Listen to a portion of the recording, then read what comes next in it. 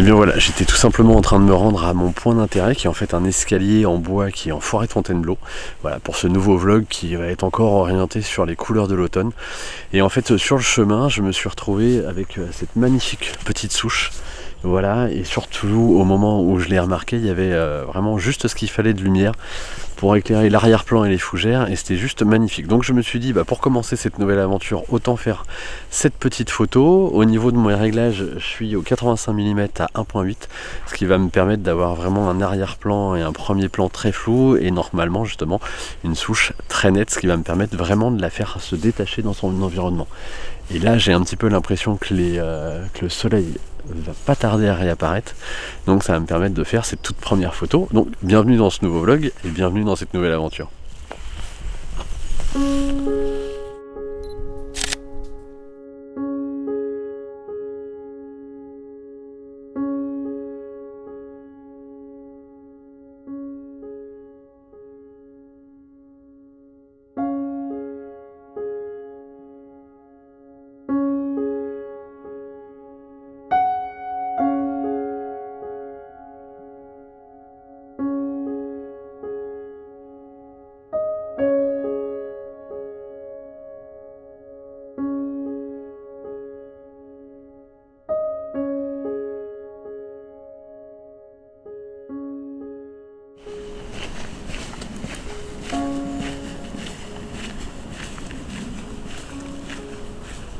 Et eh bien voilà, première photo dans la boîte. Le soleil n'est pas vraiment vraiment réapparu, mais c'est pas grave, ça m'a quand même permis d'avoir euh, un, beau petit contraste. Donc, euh, voilà, c'est toujours bien de commencer euh, un vlog avec une photo intéressante. Là je me dirige vers mon, sujet principal, donc un escalier en bois qui serpente entre les arbres, les fougères et les rochers. Je vais voir ce que je peux en, tirer. Ça va être la première fois que je fais ce type de, sujet en forêt. Je vais, je vais vraiment voir. Je pense qu'il y a un gros potentiel surtout qu'il y a quelques, quelques autres, on va dire, euh, escaliers euh, de, la même, euh, de la même sorte en forêt Fontainebleau. Et je pense que ça pourrait là aussi faire une série de photos intéressantes. Je vais voir. En tout cas, là, là, ça c'est juste très joli, les, les couleurs de l'automne. On a vraiment le soleil qui tape sur l'arbre qui est juste derrière. Bon là j'ai l'appareil, l'autre appareil qui est dans le sac à dos. Mais voilà, mais ne serait-ce que d'être là et de pouvoir profiter de ce type de spectacle, c'est quand même c'est quand même une très très bonne chose. Voilà. En tout cas, direction mon escalier et j'espère que la lumière sera de mon côté coup.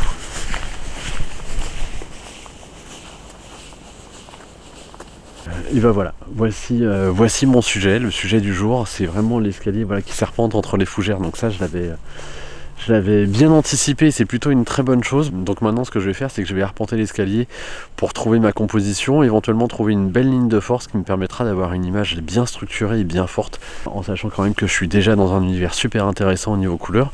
Donc ça devrait, euh, ça devrait être, euh, je dirais pas assez facile à faire, mais en tout cas le résultat pourrait être très intéressant.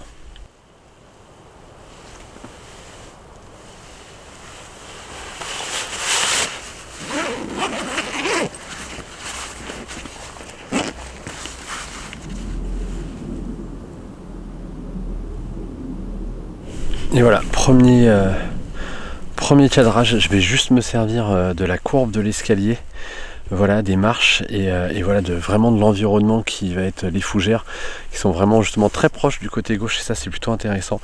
Ce que je m'efforce de faire, et ça c'est plutôt ce qu'il faut retenir lorsqu'on fait des photos en forêt, c'est que je m'efforce d'éliminer le ciel, tout simplement parce que généralement la forêt est très ombragé, donc en fait relativement sombre. C'est pour ça que la plupart du temps j'utilise un, trépied, parce que mes pauses sont lentes, voire assez longues.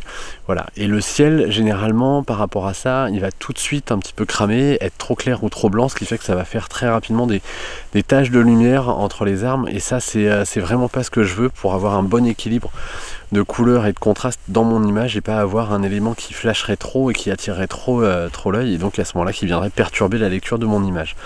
Donc là le but du jeu c'est d'avoir un petit peu cadré en plongée pour pouvoir juste avoir euh, les marches, les fougères et aussi en fait juste récupérer l'arrière-plan qui est très très vert justement parce qu'on a beaucoup d'épineux dans le coin et ça c'est plutôt une, une, bonne chose. Pour ceux qui connaissent la forêt de Fontainebleau, en fait je me trouve vraiment au niveau des gorges de Franchard qui est un lieu on va dire relativement connu euh, le dimanche, voilà, parce qu'il y a beaucoup de personnes qui viennent s'y promener, c'est un lieu très accessible.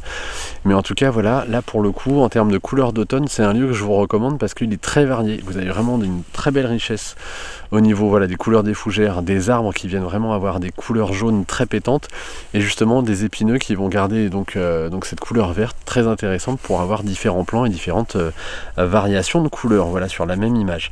Donc là, je m'apprête à faire ma première, ma première image. je suis assez lent, voilà. Et F9 pour avoir un maximum de netteté, ISO 160 pour avoir le moins de bruit possible. Voilà, c'est l'ISO natif de l'appareil photo quasiment. Et, et voilà, donc hop,